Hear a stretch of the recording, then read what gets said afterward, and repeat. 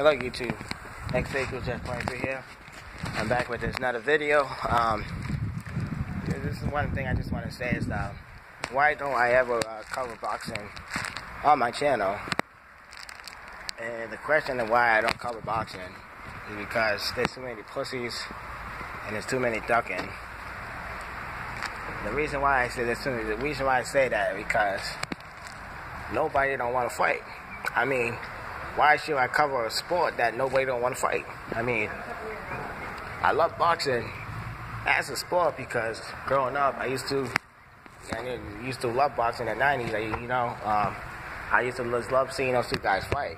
But nowadays, you got people who just don't want to fight. You mean? I mean, if it's just, if it's always about weight, or pricing them out, or ducking, you know what I mean?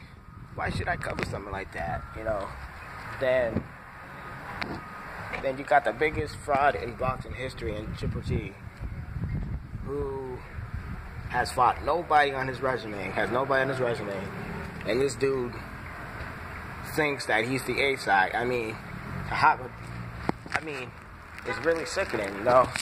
Um, it's really sickening, you know, the stuff like this on in boxing today, you know.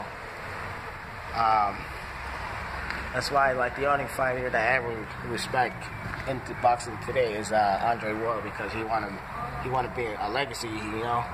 But nowadays, boxers they don't want to fight and they just just being too much of pussies, man.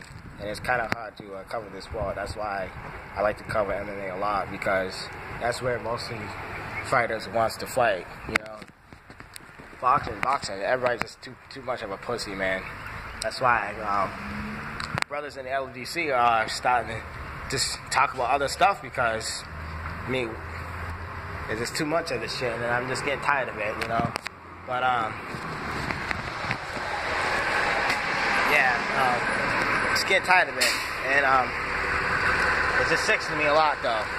Like I said, it, it was a sport that I loved growing up as a kid,